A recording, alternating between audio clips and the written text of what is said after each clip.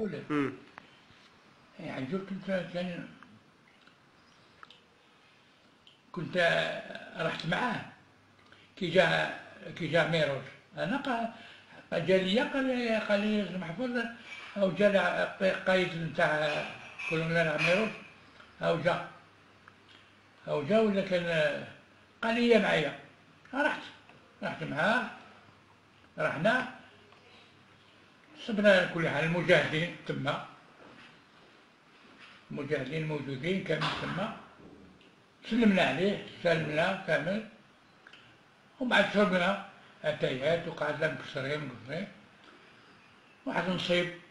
من بعد أنا خليته تما وجيت وجيت وين كنت؟ في المركز. هو اللي قال لي قال لي ولا عندك عامل؟ قلت, له عندي. قال لي ما أنا ولي العمل العمل ساعات وفي الليل على كل حال وقع شيء. تما تجرح. تجرح. الجود كي تجرح تجرح كان يدو كامل معمرة بالدم. دراعه خبروني وخبرني بعثوا لي. قالوا لي راه مجروح. راه كذا. بصح ما ما هو بلي في الآخر. فهمت أنا على كل حال. صبته مجروح كامل زرعته زرعه كامل مريض كامل مجروح؟ صوابعتيه كامل داويته على كل حال. ما خليتوش. وكان معايا الآخر تربين صالح. هاك كنت يقول لك الممرض. تربين صالح كان معايا. كنا في واحد المكان قريبة للجهة في واحد المكان. كي شغل الغار مخدوم باش ما يتكشفش في الإنسان. ومن بعد أنا خليته تما ويسرح حتى سمعت قال واش وقع؟ وراه كذا ما استعمار ما كذا. هو اللي كانت له فخة كانت. ما كانش باش يروح للاستعمار كانت له فخة ومن بعد تعرف الاستعمار في ذاك الوقت كي يحكموا واحد كان مسؤول. لا عيط ويا. كيف كبيرة. تل- الجرائد وهذه وهذه. إشهار الراديوات كامل تتكلم باش ينشروا كامل باش تفسر الجهة وإنما هو من بعد. أنا نقول كان عندهم مع يعرف كامل الشيء اللي كان عندنا. المخابة كامل يعرفها كان مسؤول. في الجهة هذيك اللي كنا اللي كنت أنا يعرفها الكل. ويعرف يعرف كامل وين نتخبى وين نكون وين هذا. عمره ما قال كلمة علينا. كان يخبرنا. يعني اتصالات منا يقولوا راه غزوة.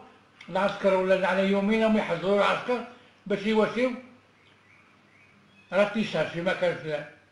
يجيني خبر أنا يجيني خبر يقولوا جا خبرها وكاين المعلومات باللي العسكر على يومين هم يطلعوا لهذه الجهة هذه.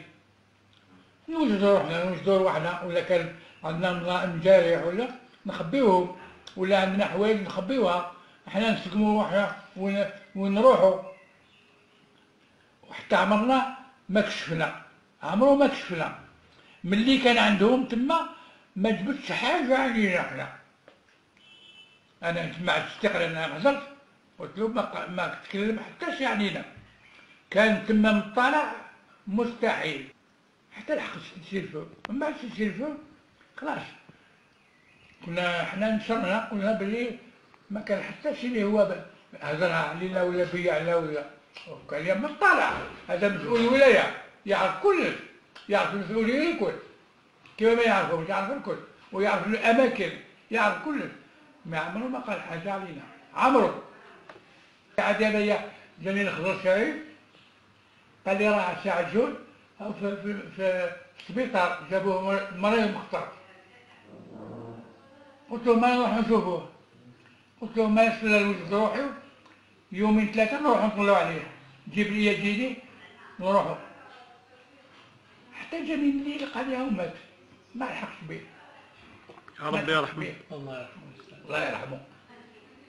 من شخصية لم يلد 11 التي ألقي عليها القبض غدة اندلاع الثورة لم يبقى سوى سيدي علي عبد الحميد وهذا الرجل إسماعيل محفوظ 97 سنة صيدلي بير خدم والذي التحق مباشرة بمعاقل الثورة بالأوراس حقيقة استقبال كان استقبال حر والسي مصطفى بن بولعيد قال آه، أعطيت له أنا الشيء اللي هو المعلومات آه، قال لي أبقى لهنا باش نمشيو.